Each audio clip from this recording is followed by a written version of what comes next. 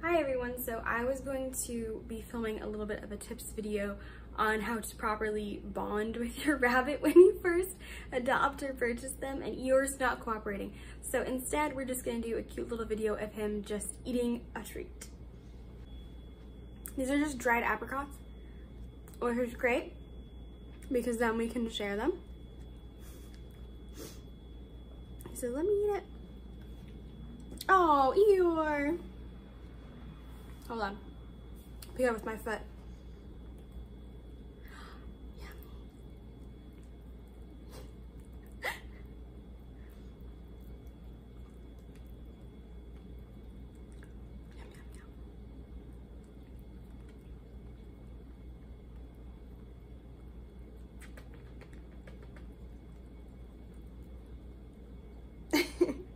all right and that's gonna be it for today everyone um, we are gonna have a video on how to properly bond with your newly adopted or bought rabbit soon um, once Eeyore has a little break from filming